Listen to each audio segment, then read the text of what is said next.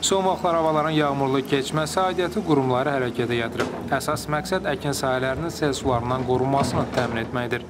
Bu məqsədlə Göygöl rayon suvarma sistemləri idarəsi bu günlər ərzində gücləndirilmiş iş rejimində çalışıb. Bəzi arx və kanallar təmizlənib. Sel və daşqınların problem yaratmaması üçün bəndlər salıb.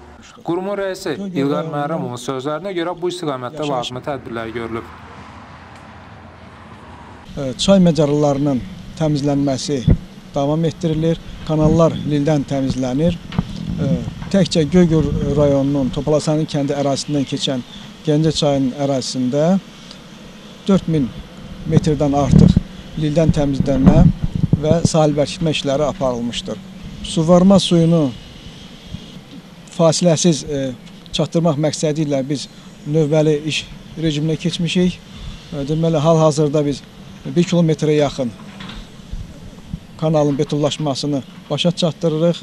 Bu da e, suyun başdan götürülən suyun e, sahələr çatdırılmasının e, faydalı iş əmsalını e, torpaq kanalla müqayisə eləyəndə e, əgər əvvəlcə 40% idisə, indi e, iş əmsalı bu rəqəm 75%-ə çatdırılır. Yarana biləcək problemləri nəzərə alaraq tədbirlər davam etdirilməkdədir. Başqa sözlə desək, sel və daşqınları yarada biləcək çətinliklərə qarşı önləyici işlər görülür.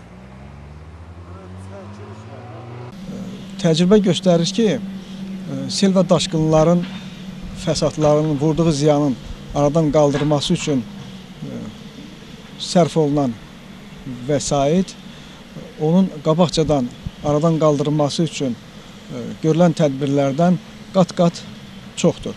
Bunu nəzərə alaraq e, deməli Melorasiya və Su Təsərrüfatı ASC-nin e, rəhbərliyin göstərişinə əsasən tədbirlər planına uyğun olaraq biz biz də tədbirlər görürük. O cümlədən kanalların betonlaşması davam etdirilir. Bu da varma suyunun əkin sahələrinə itkisiz və vaxtında çatdırılması deməkdir.